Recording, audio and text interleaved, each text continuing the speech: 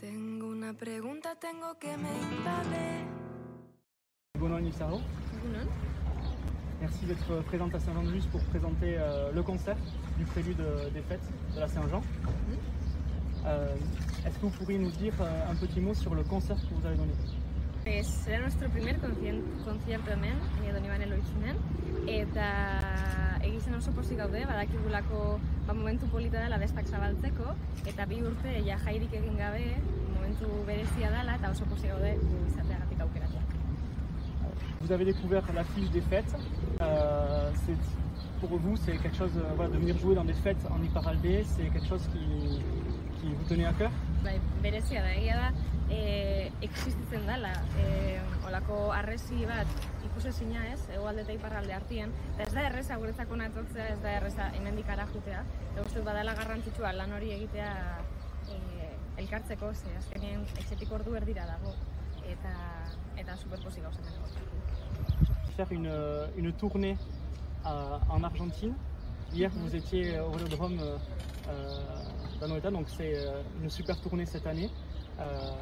Est-ce que vous pouvez nous en dire un mot sur, euh, sur ce nouveau CD et ce- cette tournée Para nosotras, guretzako izan zen e, pandemiak, ba geneukan jira bat nazioartekoa eta pandemiarekin ezin izan gendun egin, eta oin berriro hartzea eta leku guztietara joan iz- izatea eta esperientzia des- desberdinak bizitzea, ez? E, diferentea da Parisen jo edo Argentinan jo, Donostin etxean jo edo hemen jo, ez?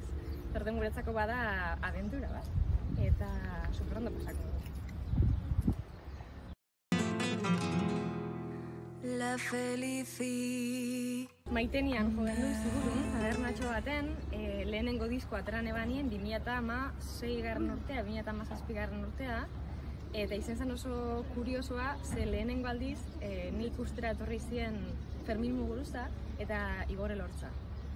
Eta egotea hor da, ikustea jende hori publikoan, esan abel, oh, zeo zer badabil gertatzen, ez? Eta oso oroitzapen polita oso ondo afaldu genuen gainera, oso polita izan zen.